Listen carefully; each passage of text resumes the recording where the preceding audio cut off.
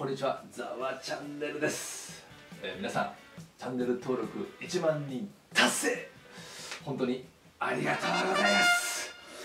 えー、今日はね、えー、何かしらのね、え1万人達成を記念したね企画をお知らせしたいと思います。え動画の一番最後でこのお知らせいたしますので、え今日もね、え動画を最後まで、え楽しんでいただければなと思います。まあ、今日のテーマなんですけれどもやはりこちら。前回で男子1番目。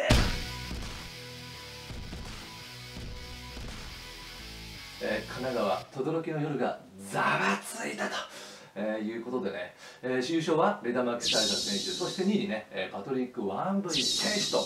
まあ本当キサエサ選手は調子いいですよね。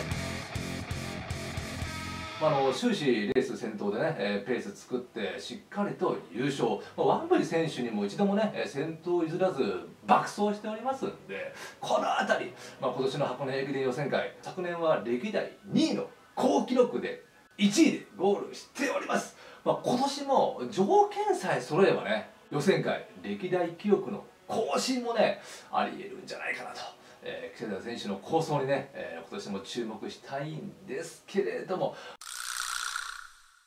まあ、今回の、えー、僕が注目した点はやっぱりね日本人トップ総合3位に入りました青山学院大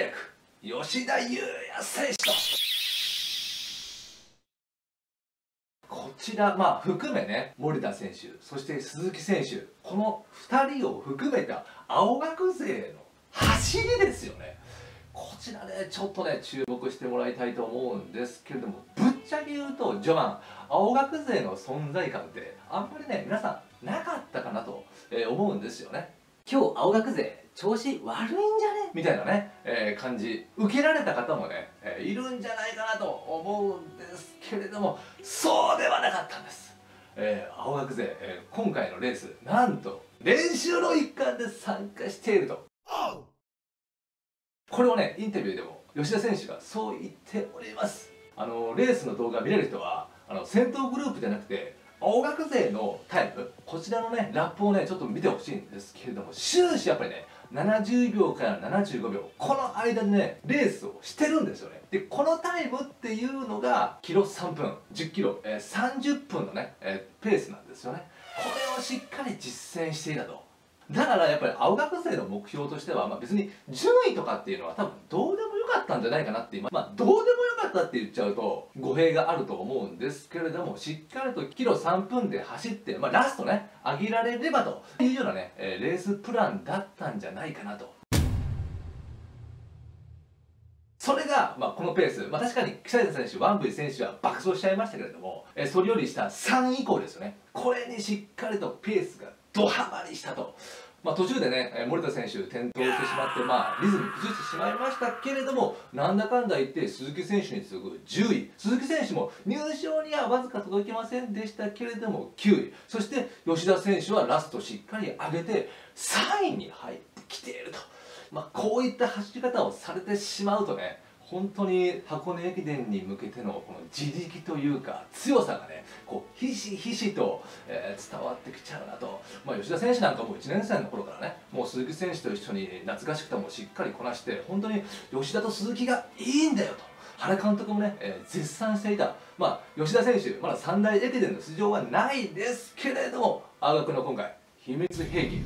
本当にもう1年生からねしっかりと練習こなしてきてるんで、まあ、それを考えれば箱根駅伝袋発掘企業もねもしかしたらあるんじゃないかなというふうにね、えー、思っております。まあ今月も、えー、日体大そして世田谷とね、えー、記録会あります。まあ青山学院大学のね、え、この記録会に参加するかどうかは分かりませんけれどもまだまだ、えー、駅伝シーズンに向けての調整は終わっておりません。しっかりとこの辺り大注目でいきましょう。ザボチャンネルでした。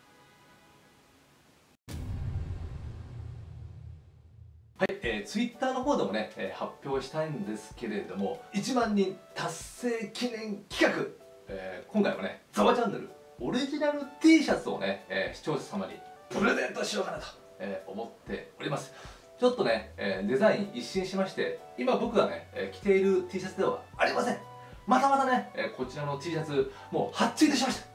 後日ね、えーこれが届きましたら合わせてね、えー詳細をお伝えしようと思っておりますので、えこれからも「ザワチャンネル」お見逃しなく応援よろしくお願いいたします。みんなお楽しみに